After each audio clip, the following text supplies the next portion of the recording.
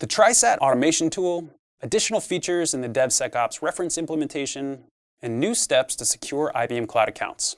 All on this episode of IBM Cloud Now.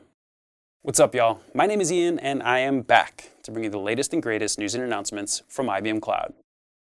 To kick things off this week, I wanted to take a look at a new tool that is going to make it faster and easier to get started with IBM Cloud Satellite.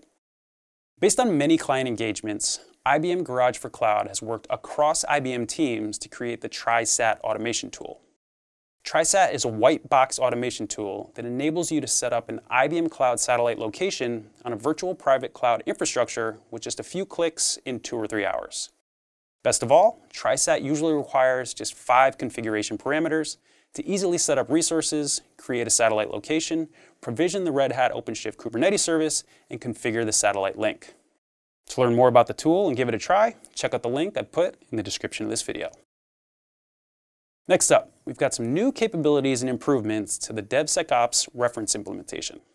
Introduced earlier this year, it provides a complete secure software delivery lifecycle automated with IBM Cloud Continuous Delivery and other IBM Cloud services.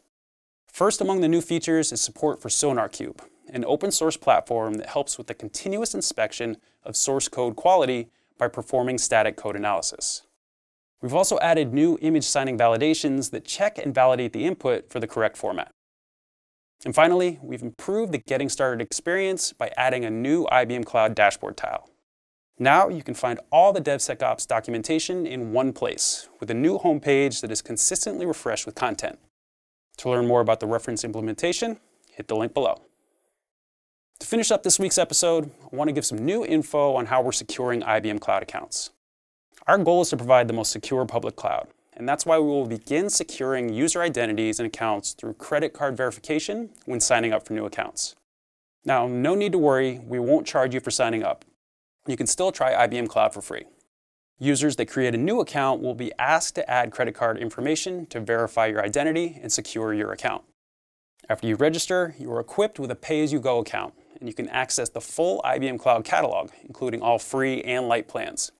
If you already have a Lite or trial account, there is no change at this time. And if you click on the link below, get a full rundown of all the changes. Thanks so much for joining me today for this episode of IBM Cloud Now. If you're interested in learning more about the topics I've covered, make sure you explore the links in the description of this video. And again, please don't forget to subscribe to our channel to stay up to date on what's going on in the cloud now.